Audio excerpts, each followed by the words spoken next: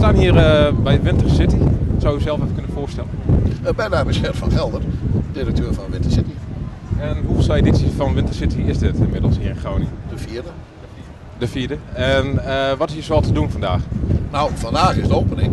We hadden gehoopt met uh, aansluitend een uh, choreografische impressie van alles wat je op het ijs kunt doen. Maar ja, het wil nog net niet. Maar we houden het wel op een officiële opening door de kerstboom van de Groningen City Club aan te laten steken door wethouder van Schie. Oké, okay, dank u. Um, wat is er komende week te doen? Of is er een uitstel van deze dag? Nee, deze dag niet. De, deze maand ligt er tot en met 5 januari. Maar wat betreft het openingsprogrammaatje gaan we in overleg met de ijshockeyclub.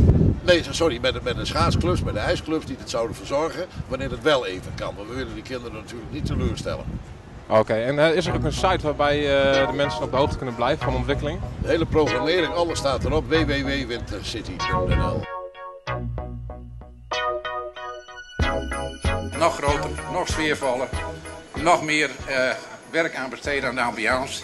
Ik wil ook Gerben Gelder en zijn mensen dus feliciteren met het resultaat wat er nu neergezet is. In omstandigheden, in weersomstandigheden die niet altijd de beste waren. Maar het programma van een choreografische impressie van alles wat er op ijs kan. En dat zou dan worden verzorgd door KNSB Gewest Groningen met uh, junioren van de verschillende aangesloten verenigingen in al die ijssporten die je hebt daar zit bijvoorbeeld ook kunstrijden bij. Ja, die vinden dat nog net even te gevaarlijk. En we hebben vorig jaar ook nog wel in de herinnering dat een van die kinderen uh, uh, onderuit ging op die wat natte ijsvloer. Uh, het is jammer dat dat dus vanavond niet doorgaat. Ik vind dat het prachtig is. Echt heel sfeervol. En langzaam maar zeker, ik kijk naar meneer Verver naast mij, ga ik nu met zachte hand de boom and